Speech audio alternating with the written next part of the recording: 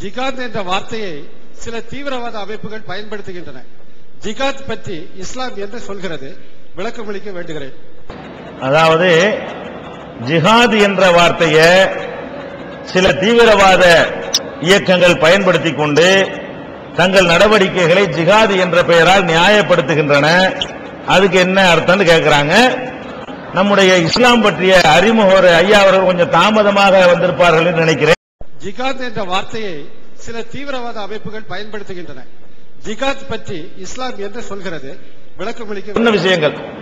ஜிஹாதுங்கிற வார்த்தைக்கு நேரடி அர்த்தம் பாடுபடுதல் உழைத்தல்.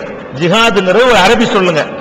அதுக்கு டிக்ஷனரியில் உள்ள நேரடியான அர்த்தம் என்னன்னு கேட்டா பாடுபடுவது உழைப்பது என்று நேரடி அர்த்தம். இஸ்லாமிய வழக்கில நன்மைக்காக உழைப்பது நேர்மைக்காக பாடுபடுவது இது ஜிஹாத். இஸ்லாத்துல ஜிஹாத் என்றால் என்னன்னு கேட்டா இப்ப நான் வந்து உங்க உட்கார்ந்து ஒரு நல்ல நோக்கத்துக்காக வேண்டி நான் பேசிக் கொண்டிருக்கிறேன். நான் ஜிஹாது செய்கிறேன். ஜிஹாது செய்யறேன்னு என்ன அர்த்தம்? நல்ல விஷயத்துக்கு நான் உழைத்துக் கொண்டிருக்கிறேன். நல்ல விஷயத்துக்கு பாடுபடுகிறேன். குரான்ல நீங்க எடுத்து பார்த்தீங்கன்னா நல்ல விஷயத்திற்காக பாடுபடுவது என்பதைத்தான் ஜிஹாது என்ற வார்த்தையிலே சொல்லப்படுகிறது. அதுல நல்ல விஷயத்திற்காக போர் செய்வதும் அடங்கும். ஜிஹாதுங்கிற விரிந்த அர்த்தத்துல ஒரு ஏழை பொண்ணுக்கு உதவி செய்யறீங்க அது ஜிஹாது. ஒரு அநியாயக்காரன் தட்டி கேட்கறீங்க அது ஜிஹாது. இந்த அளவுக்கு சொல்றாங்க நபிகள் நாயகம் எப்படி சொல்றாங்க? நீங்க வந்து ஒரு போய்கிட்டு இருக்கிறீங்க உங்களுடைய சொத்தை ஒருத்தன் பறிக்க வர்றான். அதை அவன்கிட்ட பறி கொடுக்க கூடாதுங்கிறதுக்காக அதை காப்பாத்துறதுக்கு ஃபைட் பண்றீங்க. அதுல நீங்க கொல்லப்பட்டீங்க. நீங்க ஜிஹாது பண்ணி கொல்லப்பட்டதா வருது. அதாவது உன்னுடைய தன்னுடைய சொத்தை காப்பாற்றுகிற போரில் ஒருத்தன் கொல்லப்பட்டால் அவனும் ஜிஹாதில உயிர் நீத்தவன். அப்படின்னு நபிகள் நாயகன் சொல்றாங்க. அப்ப ஜிஹாது என்பதுங்க நேர்மை நியாயத்திற்காக வேண்டி பாடுபடுவது குரல் கொடுப்பது. அறுவாடை தூக்குறது ஜிஹாது இல்ல.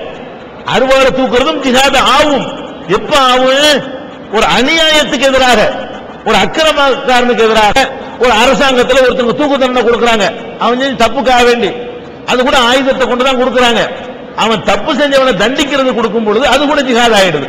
ஒரு நாடு இன்னொரு நாட்டின் மீது யுத்தம் நடத்துகிறது. எந்த நாட்டின் பக்கம் நியாயம் இருக்கிறதோ அவர்கள் செய்வது ஜிஹாதாக இருக்கும்.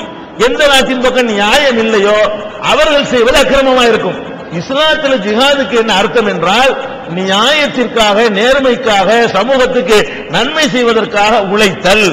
பொருளாதாரத்தில் உழைப்பது உடலால் உழைப்பது நேரத்தை ஒதுக்கி உழைப்பது அக்கிரமத்தை தட்டி கேட்கிறது எல்லாமே ஜிஹாத்தில் அடங்கும். நபிகள் நாயகம் ஸல்லல்லாஹு அலைஹி செல்லமுடைய காலத்தில் இப்படி எல்லா பணிகளுமே ஜிஹாத் என்ற பெயரால் சொல்லப்பட்டிருக்கிறது. திருக்குறான் தமிழாக்கம் என்று ஒரு இது நம்ம ஐயாவில் கொடுப்போம். அதுல பொருள் அட்டவணை இருக்கும். அதுல வந்து போர் போர் தர்மங்கள் ஒரு தலைப்பு அதுல இருக்கும்.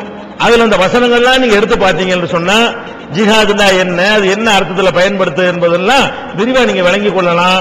இந்த வன்முறையை இஸ்லாம் தடுக்குது என்பதை ஆரம்பத்தில் என்னுடைய முன்னுரையில முக்கால் மணி நேரம் விளக்கமா சொல்லிட்டதுனால இந்த சபையில சொன்னதுனால ரிப்பீட் பண்ணாம உங்களுடைய இது விட்டுறேன்.